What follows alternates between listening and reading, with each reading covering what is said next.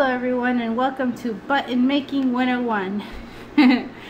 Alright, um, so today I'm going to show you how to make a button out of a picture. Like this.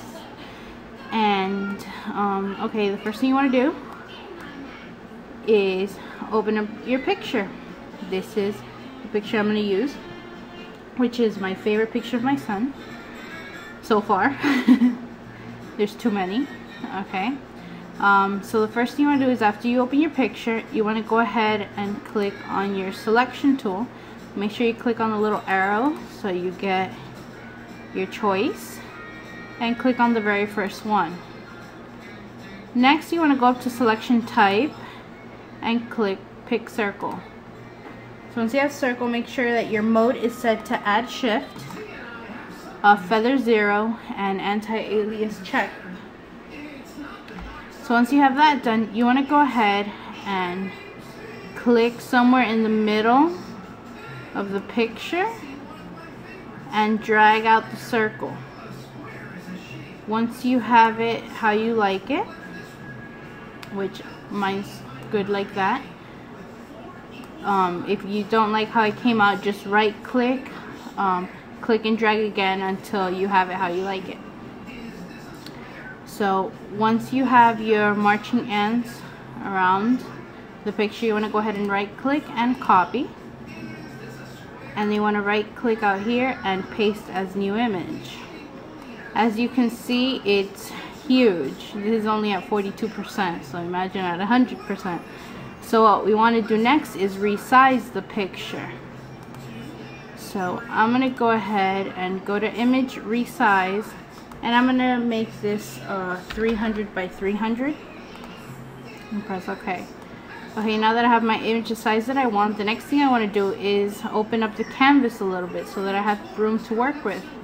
So go back to image and go to canvas size. And I'm gonna open up my canvas to 500 by 500 you should have something like this. Okay once you have your canvas open we can go ahead and do the button effects so go up to effects, go to plugins, Alien Skin Eye Candy 5 Impact, and glass. Okay, I already have my settings um, memorized there. So what you want to do is put it to bevel width 39.38, bevel smoothness 100, round selection corners 64, bevel placement inside selection, glass color white, opacity 8, tinting 25, refraction 50, inner shadow opacity 61, drop shadow opacity 100, shadow offset 36.32, and shadow glow 10. So it should look something like this. And you just, if you want to save your settings for future use, just go over to settings, save, and name it whatever you want and press OK. See, I already have mine set here. Now you can just go ahead and press OK. And there's your button. So the next thing you want to do is get rid of all this extra space. So what you want to do is press Control C and then Control Shift V. And it'll paste it like this and then you can just go ahead and save it. Make sure you save it as PNG to maintain the um, transparent background.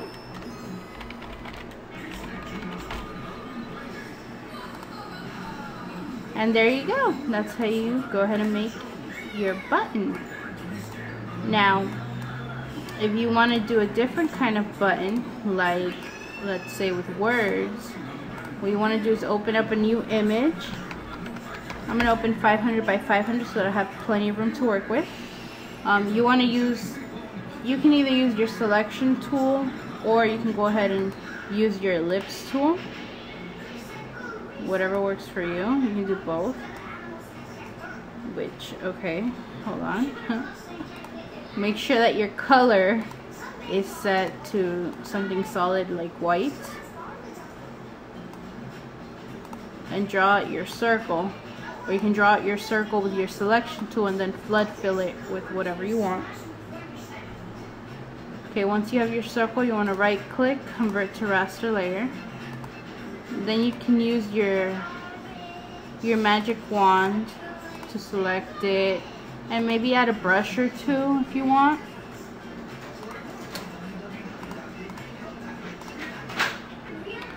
So you use your brush um, I didn't like that one. Uh, let's see just pretty much whatever let's um, put some sparkles I guess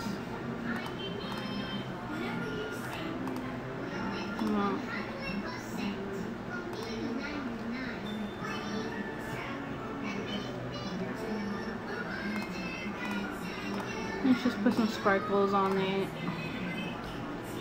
Then maybe you want to add some text. So go to selection, select none. And just add, I don't know, um, whatever you want to write. I'm just going to write tutorial.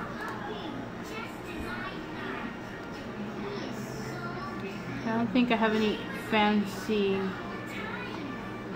fonts in here.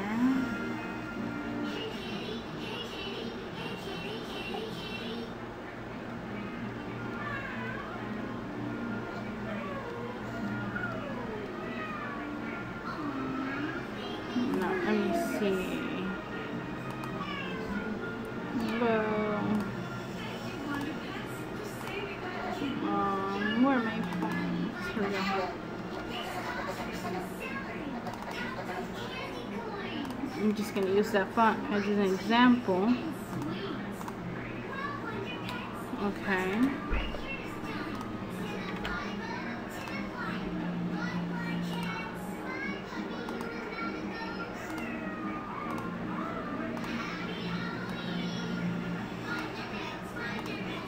And, you know, pick your color.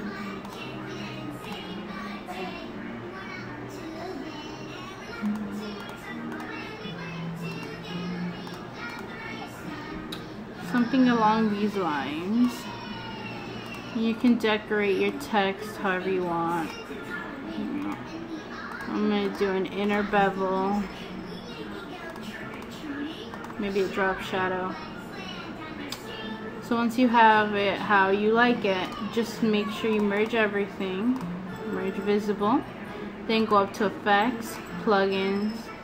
Go to your Eye Candy 5 Impact glass and use the same settings as before. The bevel width 39.38, bevel smoothness 100, round selection corner 64, glass color white, bevel placement inside, opacity 8, tinting 25, refraction 50, inner shadow 61, drop shadow 100, shadow offset 36.32, and shadow glow 10. Just in case you missed it. And there you go. You can just press Control C and then Control Shift V to get rid of the extra space. And there's your button. So you can pretty much do this, you know, with any colors or anything you want to do. And if you have any questions, just feel free to message me as always. I'm happy to help. Have a good one.